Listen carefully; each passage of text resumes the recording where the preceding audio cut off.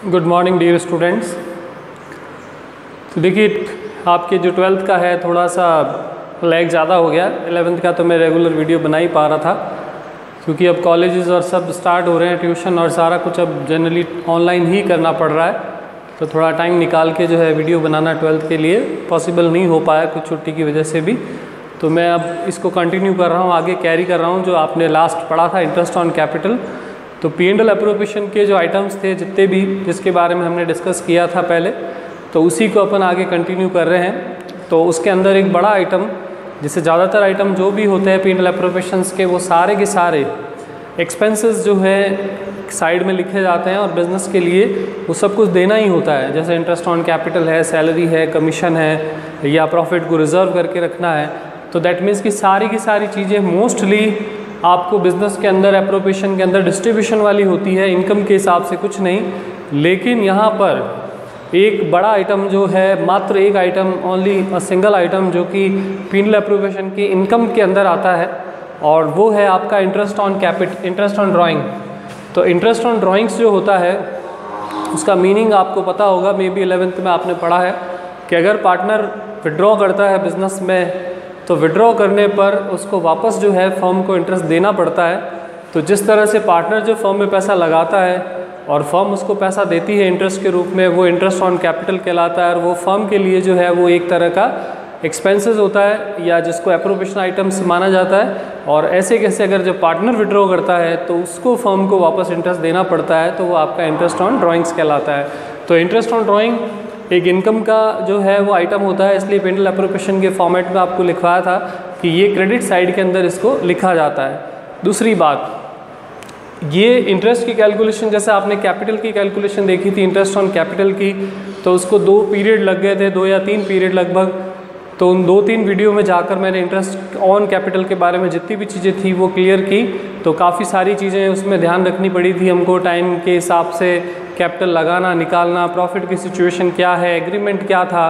तो मतलब बहुत सारे आइटम्स को लेकर जब हमने उसको पढ़ा, तब जाके उसकी सारी चीज़ें हम क्लियर कर पाए। तो वैसे कि वैसे इंटरेस्ट ऑन ड्राइंग भी थोड़ा कैलकुलेशन माँगता है, इतना भी नहीं जितना उसके अंदर था। तो बेसिकली इंटरेस्ट ऑन ड्राइंग को डिस्ट्रीब्यूट करने के लिए दो भाग होते हैं, कि पार्टनर किस तरीके से विड्रॉ कर रहा है। दैट मीन्स कि इरेगुलर बेसिस पर और रेगुलर बेसिस पर इरेगुलर और रेगुलर बेसिस प्लस उसमें अमाउंट सेम रखता है या चेंज करता है।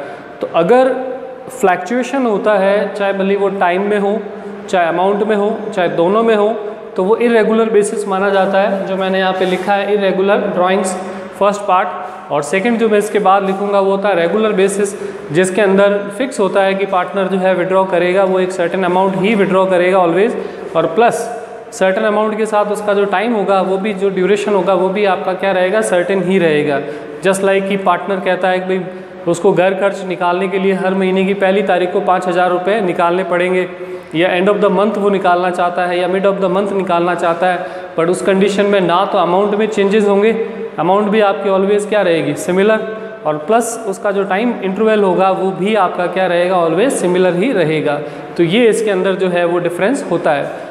अब इरेगुलर के अंदर, चाहे जैसे मैंने अभी बताया, फिर बता देता हूँ कि विड्रॉ सेम और different amount at irregular interval मतलब आप जो विड्रॉ करते हो, वो अमाउंट चाहे सेम भी हो सकती है, चाहे अमाउंट भी आपकी अलग अलग हो सकती है, और टाइम इंटरवल जो होता है, वो उसका क्या होता है? अनइक्वल तो दैट मीन्स कि अमाउंट या टाइम इंटरवल या दोनों आपके अनइक्वल होंगे तो फिर ये वाला मेथड आप इसमें यूज़ करते हो, और इसकी कैलकुलेशन के लिए अपन दो मेथड यूज़ करते हैं। Two method can be use तो पहला तो है सिंपल मेथड सिंपल मेथड का मीनिंग ये होता है कि अगर पार्टनर जो विड्रॉ करेगा, उसकी हर एक ड्राइंग के ऊपर, हर एक ड्राइंग के ऊपर, हर ड्राइंग का आप अलग से इंटरेस्ट ऑन ड्राइंग कैलकुलेट करोगे, इसलिए प्रैक्टिकली ये इतना ज़्यादा सुटेबल नहीं माना जाता है, ना ये यूज़फुल माना जाता है, क्योंकि बहुत सारे पार्टनर होते हैं और बहुत सारे अलग अलग अमाउंट्स को विड्रॉ करते हैं डिफरेंट डिफरेंट टाइम पर। तो हर एक का अलग अलग अमाउंट का इंटरेस्ट निकाल कर फिर उन सबको ऐड करना तो इसकी कैलकुलेशन ज़्यादा लेंदी हो जाती है। इसलिए प्रैक्टिकली ये क्वेश्चंस के अंदर कोई इसको यूज़ करना पसंद नहीं करता। तो इसके अंदर इस तरह से रहेगा कि जो अगर इंटरेस्ट ऑन ड्राइंग निकालना है तो आपने जितना अमाउंट ड्रॉ किया अमाउंट ऑफ़ ड्राइंग जो आपकी रेट ऑफ़ इंटरेस्ट रहेगी, क्योंकि इंटरेस्ट ऑन ड्राइंग आपको पता है कि तभी दिया जाता है, जबकि पार्टनर्स के बीच एग्रीमेंट हो तो तो उनके बीच जो एग्रीमेंट है, वो एग्रीमेंट में कितना परसेंट जो है वो देना चाहते हैं, क्या है तो वो एग्रीमेंट के हिसाब से यहाँ रेट लेंगे। और टाइम अपॉन हंड्रेड टाइम का मतलब होगा कि कितने टाइम तक उसने अमाउंट जो है जो है वो यूज़ करी है, उतने अमाउंट के हिसाब से उसको जो है वो इंटरेस्ट देना पड़ेगा। टाइम को मैंने अलग से आपकी बुक में इस तरह से अलग से डिस्क्राइब नहीं है तो मैंने यहाँ लिख भी दिया है। टाइम का मतलब होता है difference between date of drawings to end of the financial year जैसे मान लीजिए अगर आप एक जुलाई को अगर विड्रॉ करते हो और आपका फाइनेंशियल ईयर जो है वो मार्च में ख़त्म होता है तो जुलाई फ़र्स्ट से लेकर थर्टी फ़र्स्ट मार्च कितना टाइम हुआ? नाइन मंथ्स तो आपको इंटरेस्ट जो है वो कितना देना पड़ेगा? नाइन मंथ्स मान लीजिए आप एक जनवरी को विड्रॉ करते हो और साल आपका दिसंबर में कंप्लीट होता है तो फ़र्स्ट जनवरी से थर्टी फ़र्स्ट दिसंबर sorry thirty first March three months का इंटरेस्ट आपको इसमें देना पड़ेगा। तो दैट मीन्स कि जब ड्राइंग करते हो तब से लेकर जब आपका ईयर एंड होता है, तब तक का आपको जो है वो इंटरेस्ट इसमें कैलकुलेट करना पड़ेगा।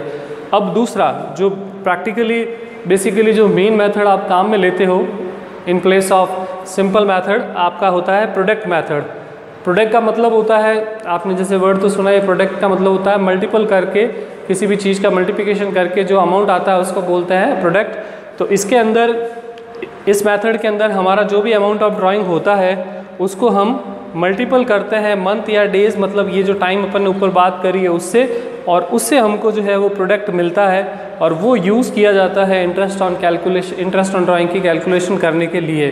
और इसका फार्मूला क्या होता है? कि आपका जो प्रोडक्ट आएगा, आप उसका टोटल कर दो तो टोटल ऑफ़ प्रोडक्ट भी कह सकते हैं, या फिर अपन इसको सम ऑफ़ प्रोडक्ट भी कह सकते हैं। तो इसके अंदर फार्मूले के अंदर आप लिख देंगे भी टोटल ऑफ़ प्रोडक्ट जो जोड़ आ रही है इंटू रेट अपॉन हंड्रेड और वन बाई ट्वेल्व और one by three sixty five ये अलग सा एक लॉजिकल चीज़ शायद में भी आप पहली बार यूज़ करेंगे कि जैसे अगर सिक्स मंथ के लिए ड्राइंग करी तो आपने जब प्रोडक्ट निकाला था वन थाउज़ेंड मान लीजिए अमाउंट है तो वन थाउज़ेंड को आपने सिक्स से पहले से मल्टीप्लाई कर दिया तो वन थाउज़ेंड इंटू सिक्स कितना हो गया? सिक्स थाउज़ेंड तो जब आपने ऑलरेडी मंथ से मल्टीप्लाई कर दिया था तो बिना प्रोडक्ट में तो अपन क्या करते हैं? जैसे मान लो वन थाउज़ेंड निकाला टेन परसेंट रेट है और सिक्स मंथ का है तो अपन one thousand into ten upon hundred into six upon twelve करते। लेकिन क्योंकि प्रोडक्ट निकालते समय आपने पहले से ही मंथ से मल्टीप्लाई कर दिया है, केवल डिवीज़न 12 का बाकी है, इसीलिए अपन यहाँ पर मल्टीप्लाई नहीं करके केवल 12 से इसको क्या करते हैं डिवाइड करते हैं। और अगर मंथ की जगह डेज़ डेज़ कब यूज़ करते हैं? क्वेश्चन के अंदर बहुत रेयर चांस होता है और बहुत थोड़ा कैलकुलेशन भी थोड़ा ज़्यादा हो जाता है इसलिए मोस्टली अपन जो है उसको अवॉइड ही करते हैं कि अपन इसके अंदर जो है डेज़ काउंट करें। लेकिन कई बार ऐसा होता है कि पाँच तारीख को फाइव सेवन फिफ्टीन ट्वेंटी इस तरह से कुछ डेट्स आ जाती है। तो एग्जैक्ट अगर मंथ के बीच में हो जैसे 15, 14, 16 हो तो भी चलाया जा सकता है। अगर हाफ़ मंथ कर लो थोड़ा बहुत फ्रैक्शन ऑफ़ अमाउंट का फ़र्क पड़ता है। अदरवाइज़ हाफ़ मंथ लिया जा सकता है लेकिन 10 डेट आ जाए 20 आ जाए 25 आ जाए तो फिर आपको सारा टाइम जो कैलकुलेट करना पड़ेगा अमाउंट ऑफ़ ड्राइंग से लेकर ईयर एंडिंग तक, वो सारा डेज़ में करना पड़ेगा और प्रोडक्ट भी डेज़ में निकलेगा। और जब इंटरेस्ट निकालोगे तो डेज़ से मल्टीप्लाई तो आप कर चुके हो तो खाली 365 से फिर उसको आपको क्या करना पड़ेगा डिवाइड करना पड़ेगा। तो ये इरेगुलर बेसिस पर जब आप ड्रॉ करते हो तब ये वाला मेथड आपका काम में आता है। अब मैं इसका एक एग्जांपल आपको करके बताता हूँ, क्योंकि इंटरेस्ट इन ड्राइंग के कुछ सेपरेट क्वेश्चंस भी होते हैं तो फिर वो भी अपन इसमें सॉल्व करते हैं। एक बार आप इसको देख लीजिए बोर्ड पे अगर नोट करना हो कुछ तो वो भी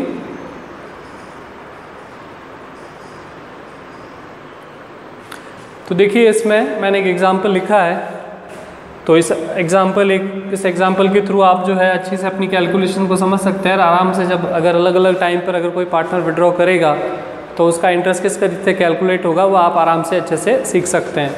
तो एलिस्ट्रेशन मैंने लिया है कि एक जनवरी को किसी पार्टनर ने जो है एक हज़ार रुपये निकाले हैं, फिर एक अप्रैल को तीन हज़ार।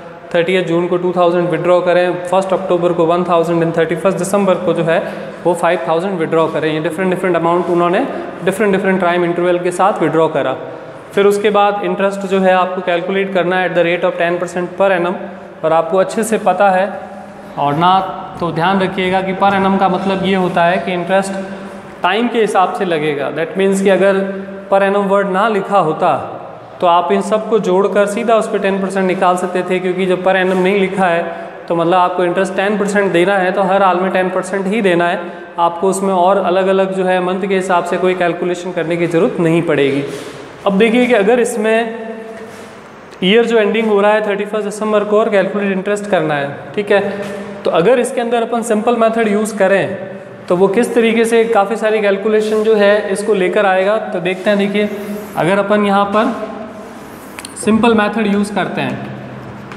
तो सिंपल मेथड में एक दो अमाउंट लिखकर ही मैं आपको बता दूँगा इसका आंसर सारी कैलकुलेशन चाहे हम नहीं करें तो भी चलेगा। जैसे कि फ़र्स्ट जनवरी की विड्रॉ की अपन इंटरेस्ट की बात करते हैं। तो interest on capital interest on drawing आपको निकालना है।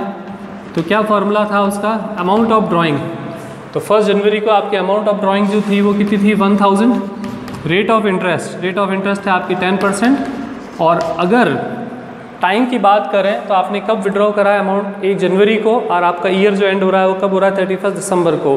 तो फ़र्स्ट जनवरी से लेकर थर्टी फ़र्स्ट दिसंबर तक कितने मंथ हो गए? ट्वेल्व मंथ तो अब ट्वेल्व मंथ में चाहे ट्वेल्व अपॉन ट्वेल्व लिखो तो भी ठीक है और वैसे लिखने का कोई लॉजिक नहीं होता।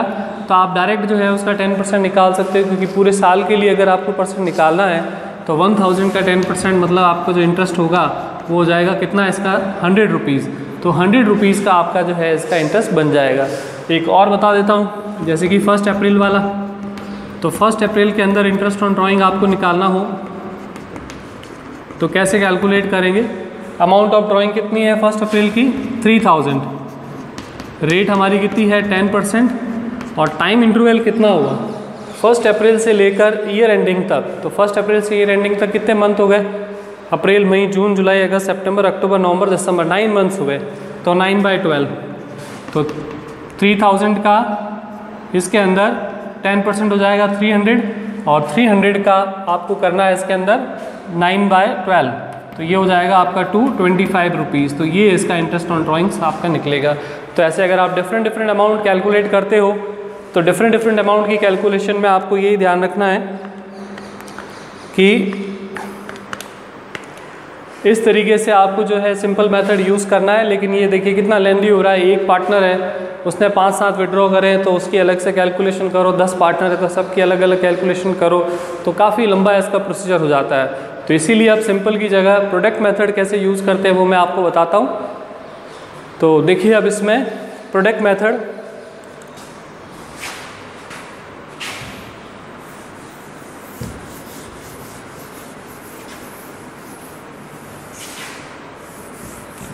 तो प्रोडक्ट मेथड के अंदर एक टेबल बनेगी आपकी और उसी वे में मैंने ये फॉर्मेट थोड़ा पहले से अरेंज कर रखा है।